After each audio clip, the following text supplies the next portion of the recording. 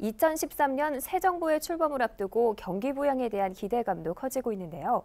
올 한 해 산업 전반은 어떤 흐름을 보일지 박세정 기자가 취재했습니다. 대한상공회의소가 최근 10개 업종별 단체와 공동으로 2013 산업 기상도를 조사했습니다. 그 결과 정보통신은 맑음, 자동차와 기계, 섬유와 철강 등 6개 업종은 구름 조금, 건설과 조선은 흐림으로 전망됐습니다. 대한상의가 2013년 산업기상도 조사를 실시했습니다. 조사 결과에 따르면 건설이라든가 조선 같은 경우에는 흐림으로 예보가 됐지만 비로 전망이 된 곳은 한 군데도 없었습니다. 지금은 불황이지만 하반기로 갈수록 다소 경기가 살아나지 않을까 하는 생각입니다. 올해 가장 쾌청한 업종은 정보통신산업.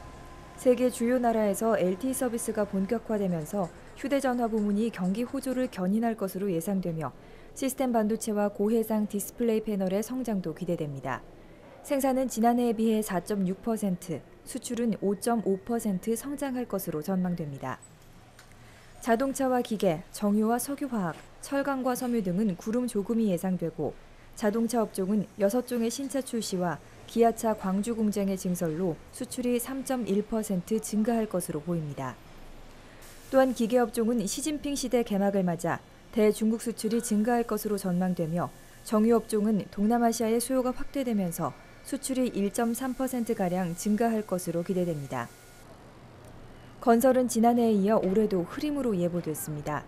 지자체의 재정 여건이 악화돼 지방 공공발주가 위축될 것으로 보이기 때문입니다.